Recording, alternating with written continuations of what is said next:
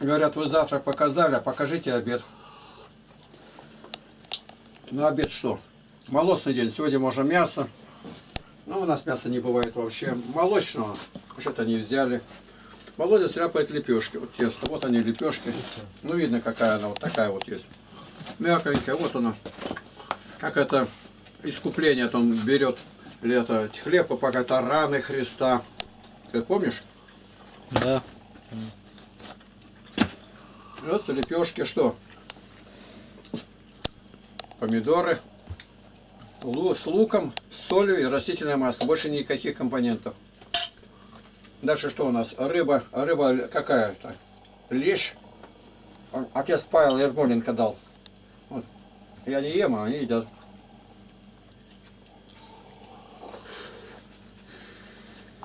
Огурцы. Я люблю тереть. По прянику.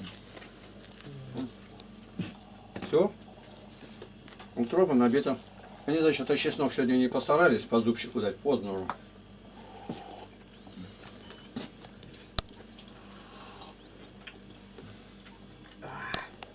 Это компот? Да. Спрашивают каждый раз, Володя, сколько надо? Я говорю, полкружки. Сегодня у нас 9 августа 16 года. Вторник. Молочный день. Вот. Мы сегодня прощаемся с Виталием. Ты что-то хотел сказать, Калиников? Вот. Большое явил непослушание, непослушание даже братьям.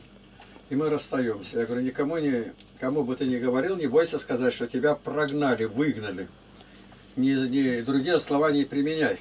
Я был, узнал, это секта там зомбирует, и на тебя Скуратовский выйдет, там еще тебе это Ну, под керосин, бензин подольет. Дудин какой-нибудь еще дудеть будет. Ты не бойся сказать. Они духоносные изверги. Духоносные подлецы. Все самое святое топчут. Злорадствуют. Когда напал на острот Наздор, так аж, ой, это тупырь, да и вот там то другое. То есть ни человеческого даже нет в них, не то что хра- христианского. Тебя отправляют. Ты приехал, побыл. Три месяца все-таки не два дня. Три месяца, наверное, с лишним даже, да? Когда я в конце марта приехал же я. Марта. Так это больше. На Больше. страстной неделе. Апрель, май, июнь, июль. Пятый месяц. Пятый. Половина. Четыре с половиной. Ну, это неплохо. А не апреле ты приехал? Мы говорили о том, какое качество. Ты Ой. говоришь, В апреле, извиняюсь, Игнатий. въехать не на что. В апреле он На приехал. страстной неделе, когда она Ну была? ладно, апреле. Да. Ну, В конце четыре месяца апреля. есть. Ну вот, сразу следом за вами. да. Что-то я кость Вот, проглотил прям. Бумажку ты чему-то здесь научился хоть маленько? Я, я очень благодарен, вообще бесконечно, огромно благодарен вам, Игнатий Тихонович. Ты как-то сказал, что тебя гнобят тут. Ну, я там, я не знаю, ну как гнобят, ну, я так воспринимал это. Вот. Ну, такие фразы, на, при, как вот, мне один раз настолько меня она резанула, фраза, прилепился к верующим. Прилепился к верующим, какой-то, ну, там, лукавый человек. Ну, мне она вообще, как, как это, Второй раз тебя тронуло то, что я сказал, что я тебе не доверяю. да. Ты говоришь, мне не доверять. Да не надо. Рот не, не вытирай этим, чистая бумажка. Там отрава положи. Отрава печатная. Да я уже что-то Ты, ты видишь, заволновался. как о тебе заботятся-то? Ты Я заботу чувствовал, сверх заботу даже чувствовал постоянно. Игнатьевич. Я тебя спрашиваю, ты сегодня говоришь, тебе даже выехать не на что, денег нет. Отослал все жене, так? Ну да. Я тебя спрашиваю, а сколько тебе до Омска? Ты толком не знаешь. Сколько? Надо узнать сейчас. А? В интернете надо узнать. Ну, Все не точно. Корчино. Не больше. А? Нет. Не больше. Вот тебе на дорогу, без отдачи. Спасибо Посчитай. Христос, Игнатьевич. Раз, два, три, четыре, пять. У меня пенсия 6500, у меня нечего давать. На меня ты дня не работал. Но ты был где все мог делать, где там пилил дрова, там шкурил было. Бывает у людей шкурный интерес, но пускай они едут, шкурят. Я старался, чтобы ты нигде праздно хлеба не ел. Смотри, на липучку какой большой мизгирь попал. Вон он, привет. Поверни, дай ему. Покажи. О. Оторвался? Да. Это сегодня я, я ее сделал. Смеяться не надо. Игнат Тихонович, а вот сегодня как-то вот так, э, у меня аж силы сегодня были копать. Какие-то силы почувствовал и порадовался, думаю, ну все, сейчас я буду копать. Ну, у меня не было такого. Всегда что-то с таким, ну как сказать, с линцой там себя заставляешь, а сегодня аж, я еще вот поэтому говорю, дайте я покопаю. И это оказалось роковым для Да. тебя. То есть это уже терпеть нельзя было никак. Так а вот, Трое непослушания. Мы это выкопаем. Без тебя копали ни одну. ну понятно. Ну я не хотел же это, я не знаю, как мне с этим, как ее, ну, Я не знаю, Как ты это побороть-то бороться. Ты вот должен это? понимать. Вот человек говорит, я не могу. Я говорю, когда в тюрьму берут, почему ты можешь? Вот такая пигалица, как вот эта Катя у нас была, она выводит пятерых амбалов.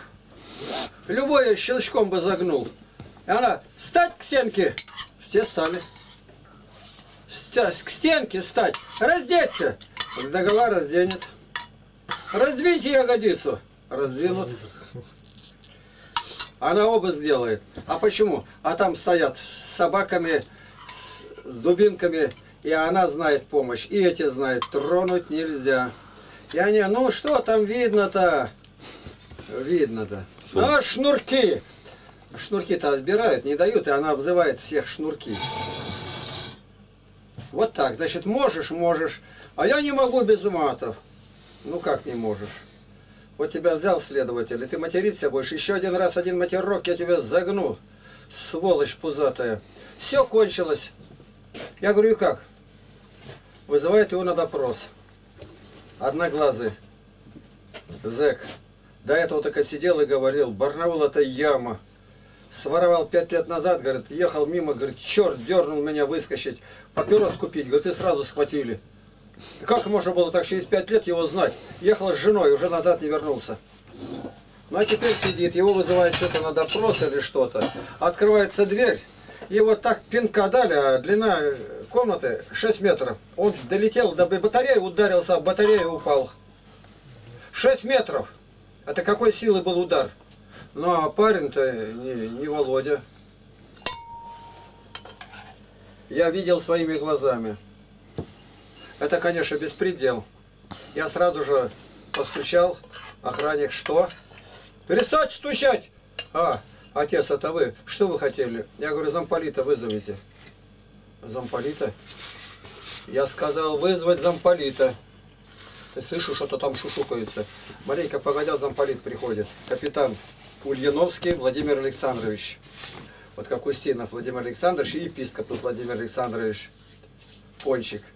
Понич. Ну, пошли. Пришли. Он после этого ко мне приходил на презентацию книг после освобождения. Э, В чем дело? Я говорю, вот сейчас на допрос вызывали одного. Да, он вор. Но он пришел избитый весь. И вот так проводили в комнату, что об батарею ударился. Да вы что? Да. Я разберусь.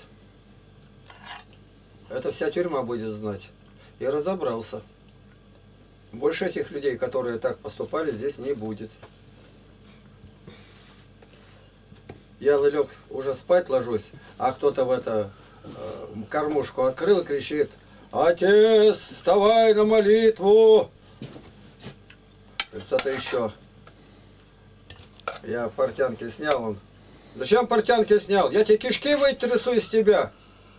Вызывает начальник тюрьмы, полковник Соломин Александр Семенович. Ну как, спалось? Я говорю, все хорошо, но вот такое было. Так, вызвал так, а то кто дежурил? Да это был такой-то капитан. Убрать его оттуда. Все. А то в тюрьме там все дубаки, не все. И мы после перезванивали с ним, он да, родной мой, у него такое, родной мой, начальник тюрьмы.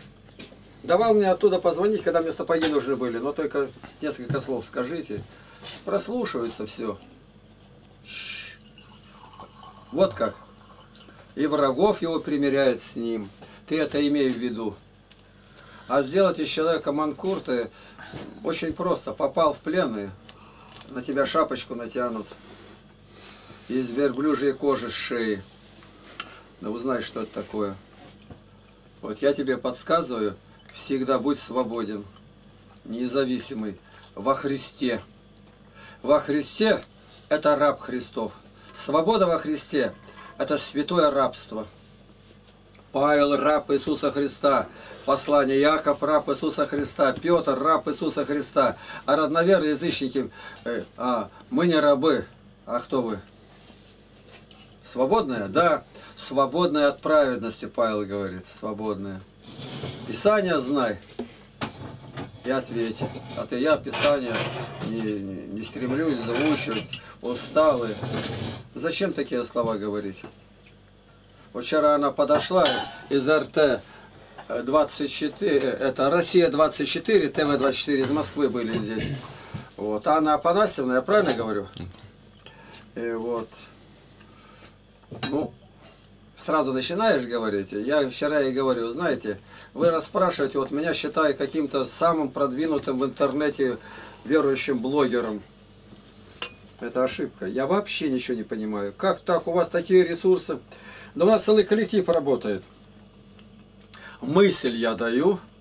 Ну, направление иногда могу показать, какую сторону. Я ничего не, не разбираюсь. Здесь еще я. Сигнал Никита у меня не ладится. Вот брат Никита сразу, покажи себя. И вот я говорю, вы не узнали самое главное у меня, ценность всего, что вы видели. Она думала, самое ценное, пришла ко мне на дом с оператором своим Асланом и снимает все. Я говорю, не это главное это, чтобы я сидел за компьютером, там на работе, вчера пришли, там я таскающий еще, а он там пилит, и она все засняли. Я говорю, самое главное, что у меня афоризм есть, ради которого я живу. Филиппийцам 1.23. Для меня жизнь Христос а смерть приобретения. Смерть несет плоды, как в латышском написано, вот навене сауглюс. Все, что я сделал, кому раздал, все соберется ко мне в смертный час. Смерть несет плоды. Я гляжу, а она не очень обращает внимание. Я говорю, самое ценное, что у меня есть, это не 5400 роликов. Они очень ценные. Но самое ценное на сайте 4124 ответа, которые я даю. 55 папок разложено. Меня сколько просили, чтобы ну, разложить вопросы, разбросаны по книгам, и не найдешь. Дети где, или про Потеряевку, или меня интересует вопрос еврейский. Я говорю, когда я умру, кто-то сделает. Не умер. Появился интернет, и пришлось засесть и заново 38 книг промолотить своих. Заново. Понимаешь? 38 томов. Каждый том 752 страницы. И распределить по 55 папок. Церковь, свобода, Христос, будущее, колдовство. То есть вот такие названия. Вот еврейские вопросы. К Библии 176 вопросов я отвечал. 176 вопросов про евреев мне было задано. В университетах, на радио, в воинских частях, в милиции. Это помещено на нашем сайте, библейский православный сайт – во свете Библии. Вот кто не знает, чтобы знали. И во свете Библии я рассматриваю. Я говорю, вот что самое ценное. Я говорю, вы не против, что вас Анна звать? У нас звали деревню Нюра. Нет. Я говорю, вот Нюра самое главное что. Это которая ТВ-24 с Москвы прилетели. Специально прилетели они. Специально. Не в Барнаул, не главе администрации. Специально к нам в Потеряевку. Я их не хотел принимать уговаривал, стращал. Вы разочаруетесь. Ничего тут нет, мы только молимся и трудимся, как Антоний видел. Бог показал ему его со стороны. Вот молится, поднял руки, а сегодня удивляется, еще руки-то поднимаете-то. Он поднял руки, написано. Сел, опять плетет там какие циновки, корзинки. Опять соскочил, опять. Я говорю, вот что самое ценное. А вы об этом даже речи не ведете. Ну, великое ли это дело лагерь? Ну, вот с вами так поступили. Ну, ну, поступили, да поступили. Ну, нам во вред-то не было. Они побудили нас к лучшему. к лучшему. То пройденный этап. А мы теперь о другом уже заботимся. Выше возьмем. Вот как. Я это я к чему говорю? К тебе советую. Кто бы тебе всего не говорил как, ты из всего извлекай урок. Ты думал, что тебе на дорогу деньги дадут? Ну откуда? Предполагал, Нет. но у меня денег-то нету. Ну теперь деньги уже все. Есть. Это моя пенсия, месячная пенсия. У меня нет ничего. Но вот я, у меня работает, это видишь, какой человек, бульдозерист. Вот сколько он проработал фактически э, с четвертого, пятого, шестого, вчера день, сегодня, ну, пол, сегодня два часа, то есть работал один час, может быть, остальное переезжал. Я уже должен отдать, сегодня начальник должен приехать, 64 тысячи. Уже сегодня. А где возьмешь? 64, это за 10 месяцев мне надо пенсию отдать. Мой великий Бог. Ты понимаешь, как вот живем мы, доверяясь Богу? Ты это не можешь сказать. И... А что ты? Господи, дай мне на элементы платить. Ничего себе. Я ведь это делаю, чтобы следующее поколение жило как лучше нашего. У них все было. Вот здесь мы, э, мы с тобой, помнишь, там обходили Рыжковский пруд, там, а потом прошли его нельзя. Там ты сегодня видел, как там все за вся эта огромная провал, все загладили. Теперь на втором мостике мы тоже заделали, но одновременно является и дорогой в близлежащие районы, села. Одновременно дамба является дорогой, и она уже сделана. Сегодня бульдозеристы говорят, а если я по этой дороге поеду, ему надо домой, в Барнаул, я говорю, не езди. Потому что наши проведали, там выехали, а то, ну, 21 год там ничего не было. Там заросла дорога, ты ее не видать, ты дальше-то не знаешь, куда ехать. Там надо знать, объезжать поле и вдоль лесополосы держать на высоковольтную линию. А дальше ты пойдешь. Вот научиться нужно вычленять самое наиглавнейшее. У тебя враги. В первую очередь о них молиться. Но враги какие? Ну вот такие. Бог силен примирить. Вот мне пишет Куракин Алексей. Он из пятидесятников, кажется. Как я люблю вас, изъясняется. А на меня напали тут Скуратовский с Филадельфии. Да, Дудин из Томска. И Скуратовский меня заставляет шпионить за вами. Все, в друзья нам проситься, а там что-то узнавать. И кого, кто ходит к нам, дружит тех, чтобы ну, против вас и говорят, и говорят. Они мне сейчас противны, я их не слушаю. А я и не знал про это. Я просто даю самое святое, чистое, а они клевещут. Но это они. Да благословит их Бог. Они возвышают нас перед Богом. Блаженно, когда имя ваше понесут, как неугодное Сыну Человеческому. Радуйтесь и веселитесь. Велика ваша награда на небесах. Так поступали и с пророками отцы их. Вот и все. А ты говоришь, Слово Божие я люблю. Что ты хотел еще сказать? Давай на прощание, а то я уйду. На Ты прощание. будешь готовиться, собирать вещи сегодня и засветло выйдешь. Придется там подождать немного на, на разъезде. Ты знаешь, где разъезд-то? Разъезд. На разъезд, на наш разъезд. Поезд идет. Ну, я нет. А? Меня же привезли на машине, Игнатий. Ну ладно, здесь ты не был в этой стороне. Тебе покажут, где. Рядом.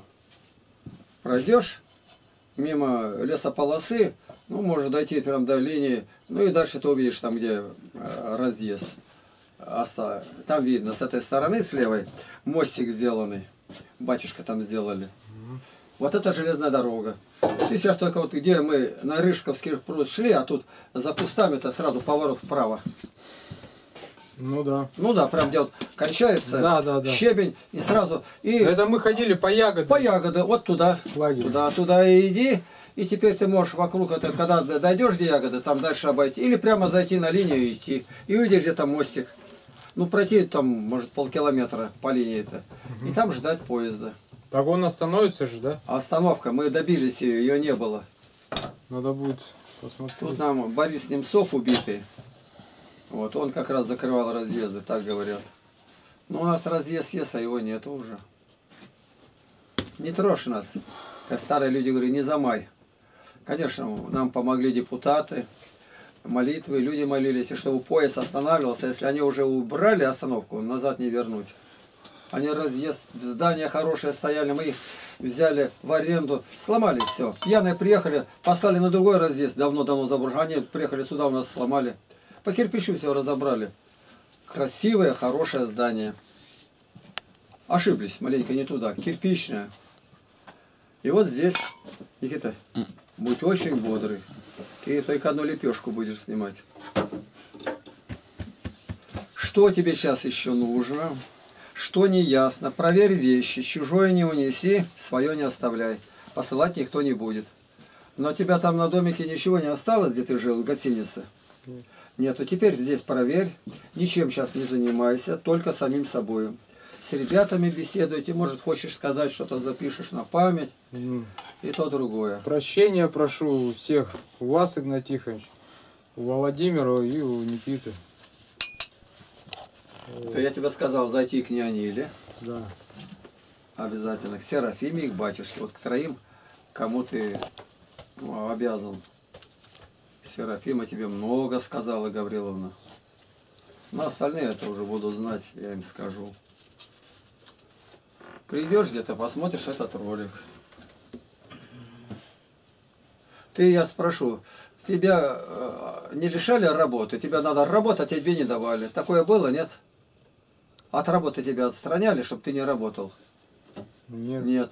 Было такое, что ты ложился спать совершенно голодный, тебе не дали ни первого, ни второго, ни третьего. Не было. А не было. Ну вот смотри, что-то у тебя, я спрашиваю всех отъезжающих, что-то может потерялось, не вернули, взаймы взяли, Нет. нету. Ты уезжаешь ни на кого на сердце, ничего не имеешь? Ну я на тебя еще буду иметь, я открытый человек совершенно. Ты копался, ты возил там, шкурил, благодарю тебя. Ты где мог, э, работал. Выносил все медленно. Мне это так тягомотно. Вот один конец не понимает, только броситься, схватить, а ты в развалочку паутинному. Э, Я не- не могу долго это переносить. Я лучше сам возьмусь. Вот сегодня он проехал там, освободил, и пень лежит с корнями. И один его сволок в сторону, пока он вернулся. Мне это очень интересно. Там над прудом мы, ты на нем работал, если Господь позволит. Так, Володя, ты, наверное, мне лепешку дай-ка на ужин, я не буду приходить. Так возьмите побольше. Вот этого заберу, она мне сгодится. Надежда Васильевна, выпрошу помидоры, или она сама приносит. Так, ты перед кем еще хотел бы повидаться перед отъездом? Ну вот то, что вы сказали, Серафима, Неонила, Ну вот я сказал. кем? Так, Батюшка, да? ты только где будешь говорить, Ба, с матушкой. говори папа, правду.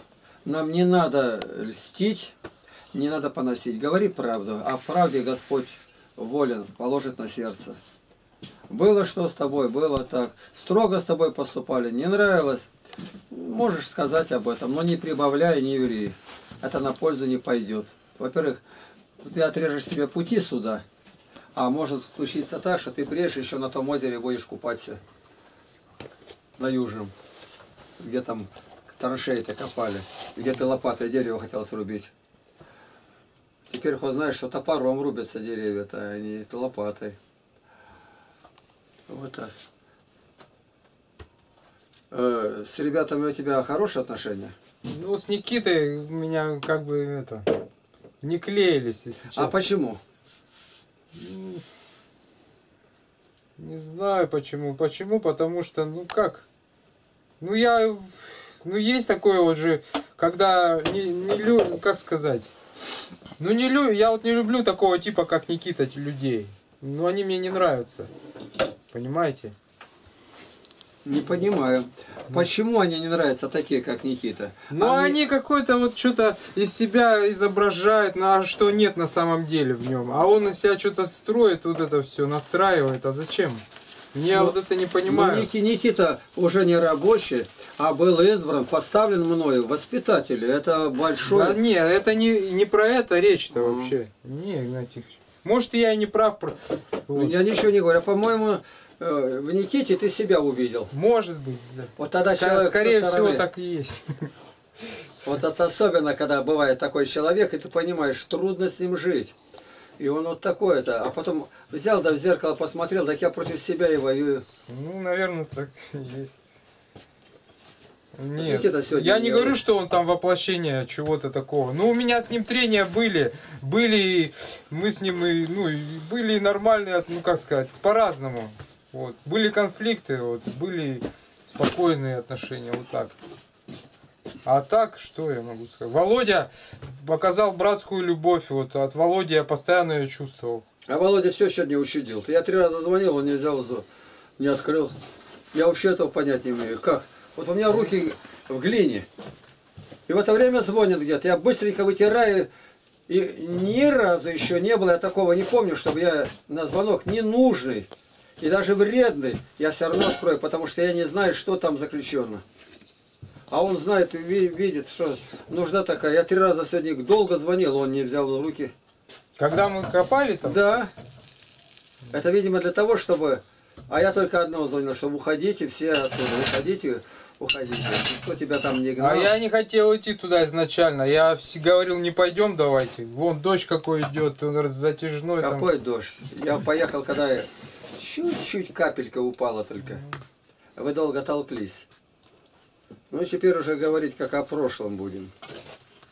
Ну, ты хотел послушать, как будет задавать вопросы это ТВ-24. Ну, да? теперь ты- будем смотреть, конечный результат будем смотреть. Я еще приеду Володину, еще пересмотрю, что Володя снимал вас.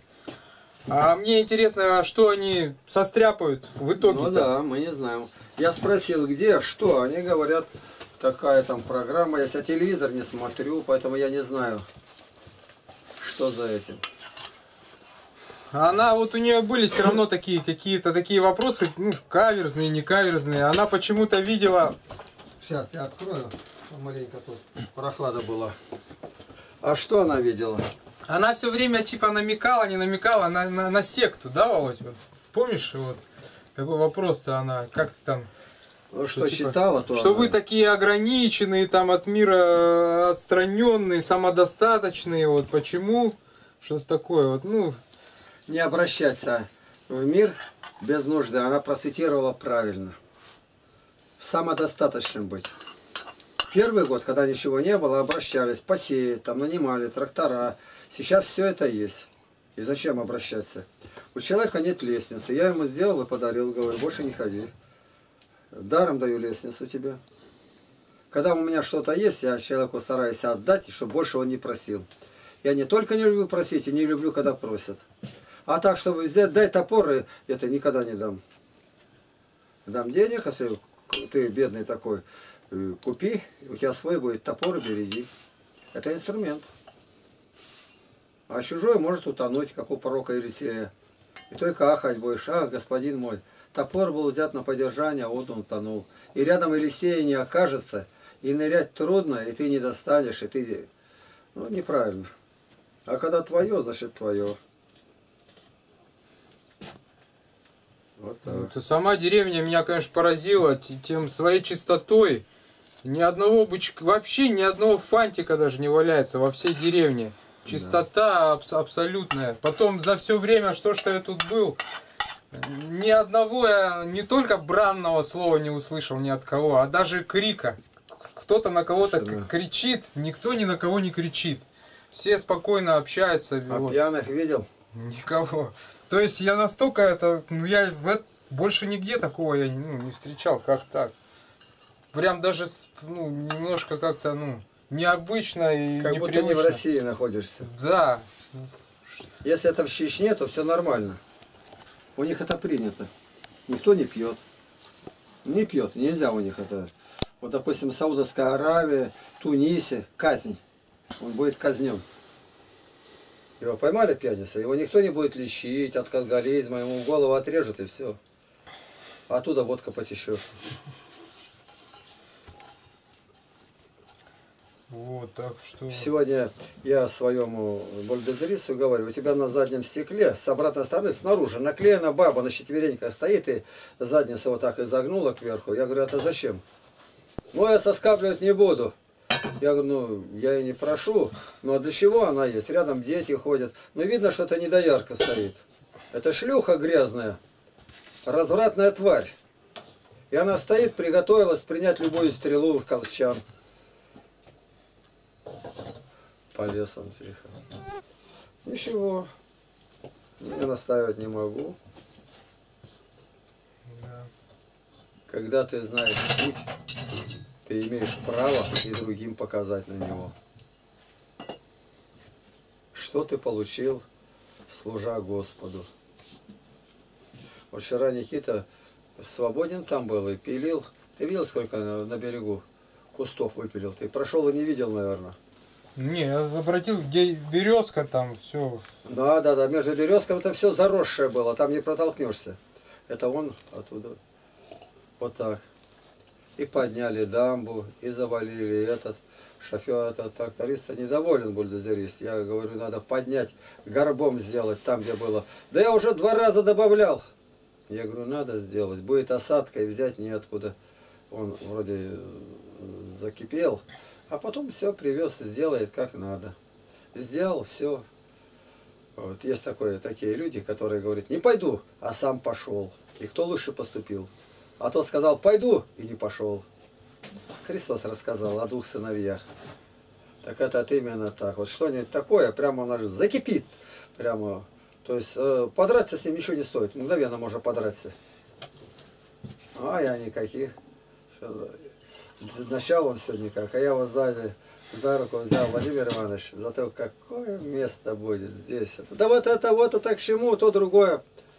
Мы здесь маленькие были, здесь люди будут приезжать. Тут красота какая, гляньте. Березняк, а дальше идут э, осинник. Лежу, он садится и делает. Я ему показываю пальцем только где. Он подворачивает, такая техника. Я тут опрокинусь.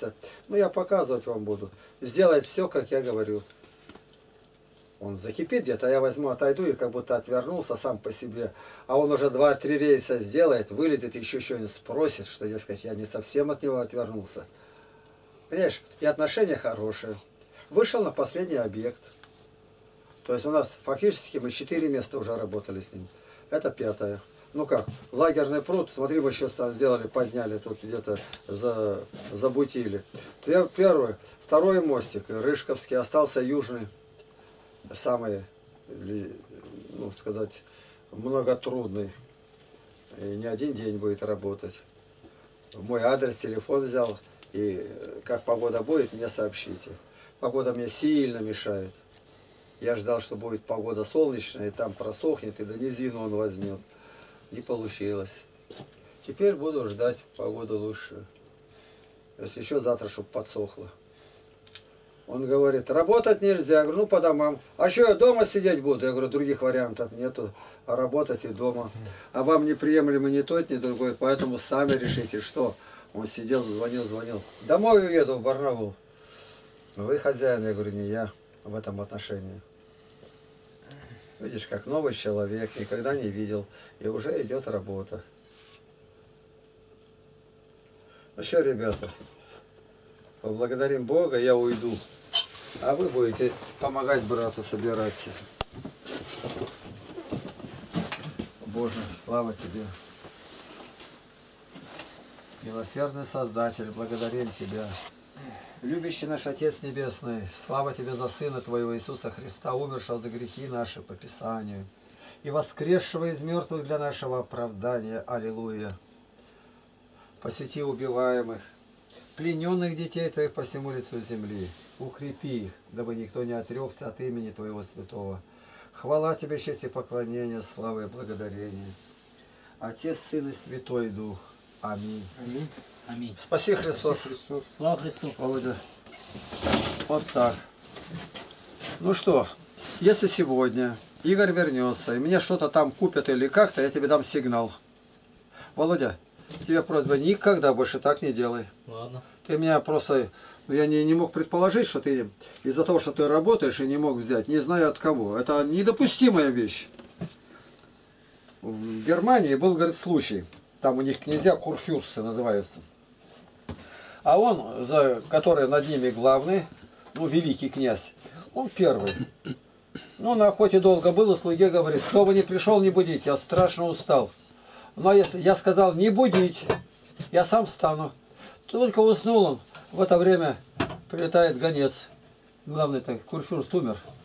Немедленно сейчас же скажите вашему хозяину. Сейчас же скажите ему, что он теперь главный у нас в Германии-то.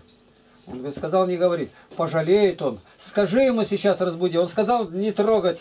Когда он проснулся, он говорит, посол был. Сказали, что умер.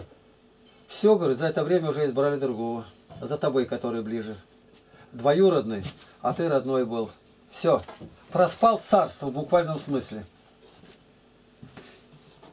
Один город рассказывает, тоже там где-то в Германии, враг оккупировал. Долго держали они осаду, но не выдержали.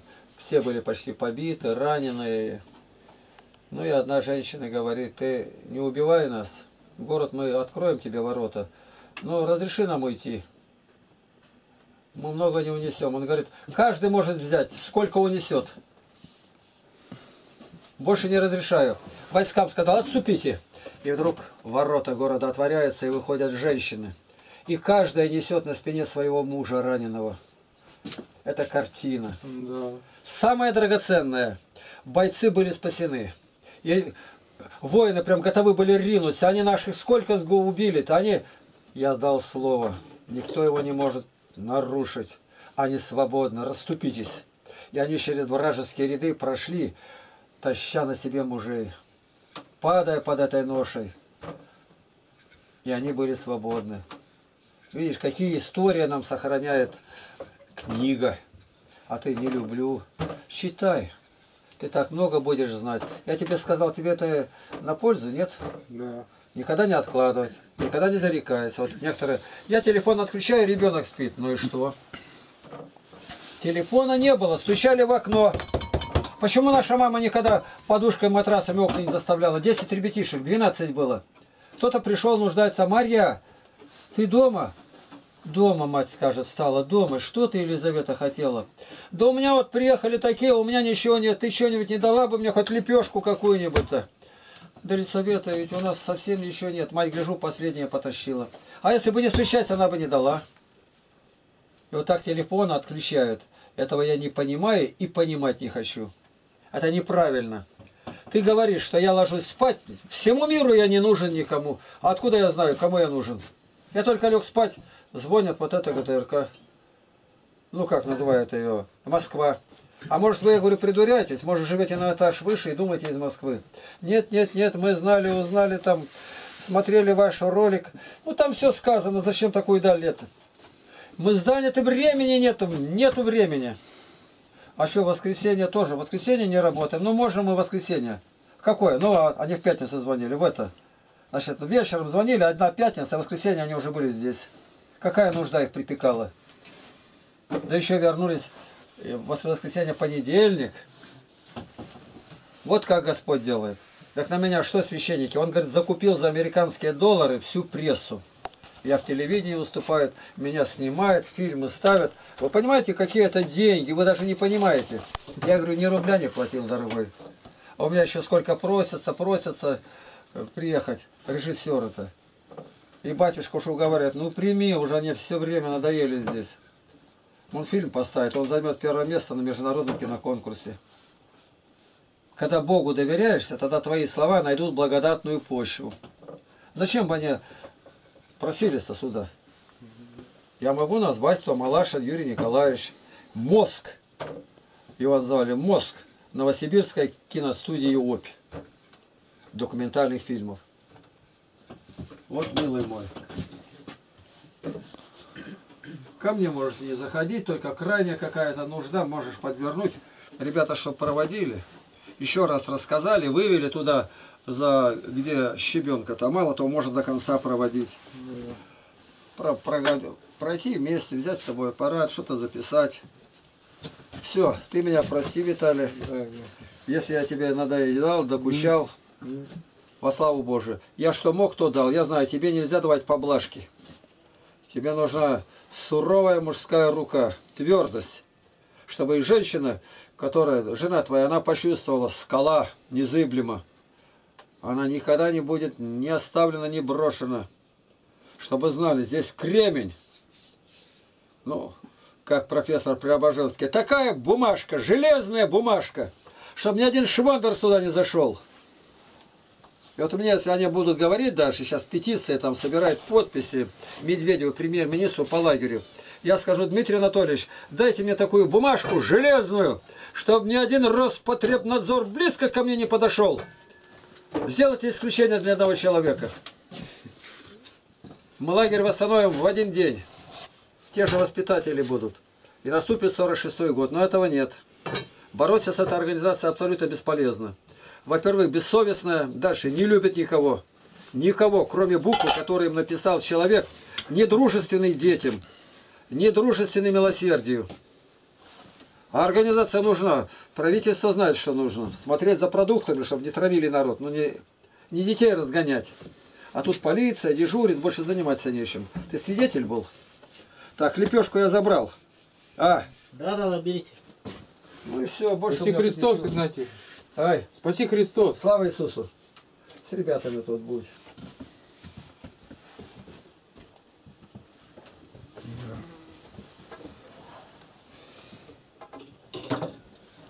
будь. Видеокамеру надо отдать. ему.